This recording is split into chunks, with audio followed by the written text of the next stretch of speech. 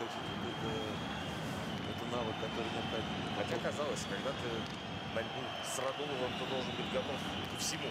Даже находясь в буфете, шайба тебя найдет, а здесь Зайцев забивает в третьем матче подряд финальной серии и вызывает в памяти подвиги Джастина Азеведу, который в финале двухгодичной давности против как раз Магнитки забивал в каждом из семи матчей. который мы обсуждали его гастротуру. Давайте посмотрим.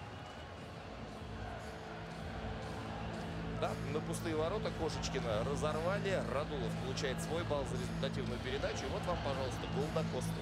Вот его влияние на судьбу этого матча. Как Металлург переварит это поражение в ситуации, когда ничто не предвещало, вот это большой-большой вопрос, на который придется отвечать тренерскому штабу «Магнитки».